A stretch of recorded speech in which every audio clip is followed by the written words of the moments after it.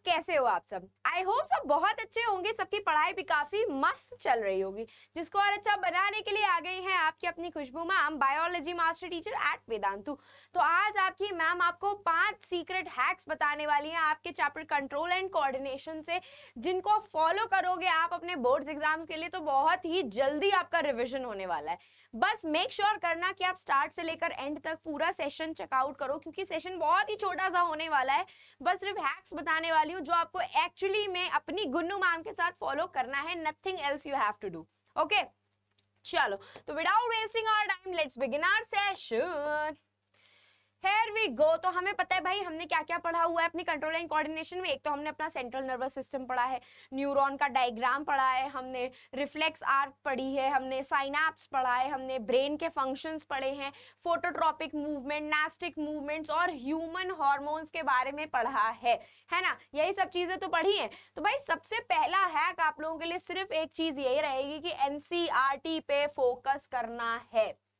क्या करना है? Only you have to focus on your NCERT किसके ऊपर फोकस करना है? सिर्फ़ और सिर्फ़ एनसीआरटी के ऊपर फोकस करना है और कहीं इधर उधर भागने की ज़रूरत नहीं है। रिमेनिंग जो रिविजन होगा, उन चार दिनों में आपकी गुन्नू मैम उसकी रिस्पॉन्सिबिलिटी लेती हैं। पूरी पूरी बायो को में फोड़ने के लिए रेडी आपकी अपनी गुन्नू मैम ज़रूर करेंगी। सेकेंड चीज़, मैं आपको हमेशा बोलती हूँ, जब भी कोई भी चीज़ रिविजन किया करो, जैसे रिफ्लेक्स आर्क हो गया ब्रेन के फ़ंक्शन हो गए try to learn them with the help writing it लिख करके प्रैक्टिस करना और लिखने का मतलब ये नहीं लंबी चौड़ी लाइन लिख रहे हो। लिखने का मतलब ये होता है कि उनको फ्लो चार्ट्स और टेबल्स के फॉर्मेट में लिख करके लर्न करो। पूरी समरी लर्न नहीं करनी होती। भाई, जो इंपॉर्टेंट मेन फ़ंक्शन जो मैंने आपको बताए अंडरलाइन करवाए, बस उनको with the help of flow charts और टेबल्स लर्न करने हैं। थर्ड चीज़ मैं आपको यही बोलूँगी कि न्यूरॉन का डायग्राम लेबलिंग करने के लिए बहुत पूछा जाता है। इवन ब्रेन का डायग्राम ड्रॉ करने के लिए भले ना पूछा जाए, लेकिन लेबलिंग करने के लिए वो ज़रूर पूछ लेगा और लेबलिंग के साथ साथ उन पर्टिकुलर लेबल पार्ट के वो आपसे फ़ंक्शंस पूछ लेगा। क्या पूछ लेगा? पर्टिकुलर लेबल्ड पार्ट से वो आपसे फ़ंक्शन ज़रूर पूछेगा। तो मेक श्योर sure ज़रूर करना कि आप ये सारी चीज़ें उसमें अच्छे से पढ़ रहे हो, अपनी एनसीआरटी e पे फोकस करना है लर्न करके लिख रहे हो तो in the form of table tabulate form या फिर फ्लो चार्ट के फॉर्म में लर्न करके लिखो। इतना लंबा चौड़ा गाथा नहीं लिखनी होती है। न्यूरॉन का डायग्राम अच्छे से पढ़ लेना लेबलिंग पढ़ लेना प्रैक्टिस कर लेना, क्योंकि उनसे रिलेटेड लेबल पार्ट्स के क्वेश्चंस पूछे जाते हैं।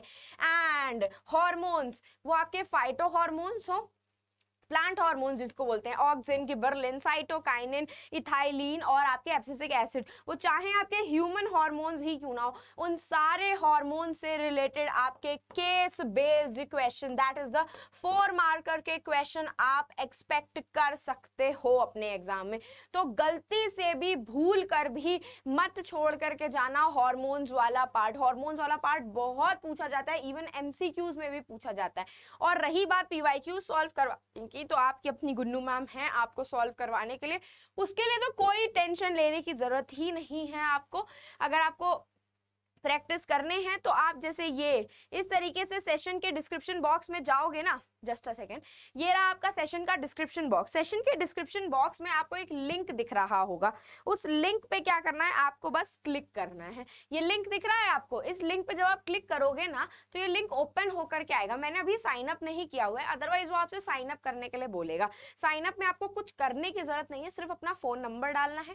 फ़ोन नंबर पे जो ओटीपी आएगा, वो डालना है। और साइन अप हो जाओगे। उसमें मेरे जितने भी बायो के सेशंस है, वो एनसीईआरटी मैराथन हो वन शॉट हो whatever sessions you want सब उसमें अवेलेबल है। कहीं इधर उधर भागने की आपको ज़रूरत ही नहीं पड़ेगी। तो एक बार वो लिंक ज़रूर चेकआउट कर लेना, आप लोगों के लिए काफ़ी ज़्यादा यूजफुल होने वाला है, क्योंकि सब कुछ फ्री ऑफ़ कॉस्ट है, कोई पैसे का पेमेंट आपको उस पर्टिकुलर लिंक को खोलने के लिए नहीं करना है। नेक्स्ट एंड द लास्ट चीज़ मैं आपको यही बोलूँगी कि सिलेक्टिविटी मेंटेन करनी है। मैंने आपको पहले ही बताया तो सबसे पहले आपको क्या पढ़ना है? रिसेप्टर्स न्यूरॉन के फ़ंक्शंस अच्छे से पढ़ लेने हैं। उसके बाद रिफ्लेक्स एक्शन पे ध्यान देने का है कि रिफ्लेक्स एक्शन के एग्जांपल्स क्या क्या होते हैं? ह्यूमन ब्रेन के पार्ट्स बहुत इंपॉर्टेंट है। वो फोर ब्रेन हो आपका मिड ब्रेन हो या हाइंड ब्रेन उनके फ़ंक्शन ज़रूर पूछे जाते हैं। एंड आपके animal hormones and plant hormones के फ़ंक्शंस काफ़ी पूछे जाते हैं। आप इन दो को तब भी एक पल स्किप कर सकते हो, लेकिन इन दोनों पार्ट्स को तो बिल्कुल भी भूल करके स्किप मत करना है। इवन आपके रीसेंट एग्जामिनेशन में आपका फीडबैक मैकेनिज्म के क्वेश्चंस भी आए हैं, लेकिन बहुत ईजी है उससे ज़रूरी नहीं है कि इस बार क्वेश्चन आ जाए, लेकिन आपके थर्ड और फोर्थ टॉपिक से तो ज़रूर से ज़रूर आएगा आपका। और रही बात रिफ्लेक्स एक्शन की तो रिफ्लेक्स आर्क बहुत इंपॉर्टेंट है उसमें, जो आपको नहीं स्किप करनी है। तो आई होप होप आपको समझ में आया होगा कि सबसे पहला स्टेप आपको क्या फॉलो करना है। समरी को रीड करना है, जो आपकी मैम अपनी करवाएँगी आपको। उसके बाद अगर आप लर्न करने बैठ रहे हो तो with the help of flow chart आपको लर्न करना है। थर्ड पे फोकस करने हैं उनके डायग्राम पे और उनके लेबल्ड पार्ट्स पे, क्योंकि लेबल्ड पार्ट कभी कभी लेबलिंग करने के लिए भी आ जाते हैं। कभी कभी उन लेबल्ड पार्ट्स के फ़ंक्शंस भी पूछ लिए जाते हैं। और हॉर्मोन्स वाला पार्ट तो बिल्कुल नहीं स्किप करना है, क्योंकि हॉर्मोन से आपके केस बेस्ड क्वेश्चन सबसे ज़्यादा बनते हैं। और प्रायोरिटी वाइज टॉपिक मैंने आपको बता दिया कि सबसे पहले आपको थर्ड और फोर्थ टॉपिक पे मोस्ट इंपॉर्टेंट और मोस्ट प्रायोरिटी देनी है आपको। उसके बाद आपको सेकेंड एंड वन टॉपिक पे जाना है, क्योंकि इन दो टॉपिक से क्वेश्चन ज़रूर आएगा और फिर उसके बाद आपका सेकेंड टॉपिक काफ़ी इंपॉर्टेंट है, उससे भी क्वेश्चन आ सकता है। तो इतना समझाने के बाद अब जल्दी से जरा सेशन को लाइक कर दो चैनल को सब्सक्राइब कर दो एंड मेक श्योर ज़रूर करना कि आप टेलीग्राम चैनल को ज्वाइन कर लो ताकि आपसे कोई भी ऐसा अमेजिंग सेशन मिस आउट ना हो जाए। क्योंकि ये सेशन काफ़ी इंपॉर्टेंट होने वाले हैं आपके साइंस बोर्ड एग्ज़ाम के लिए। और अगर आपको गुन्नू मैम को फॉलो करना है पर्सनली तो आप उनको फॉलो कर सकते हो खुशबू अंडर भाटिया पे।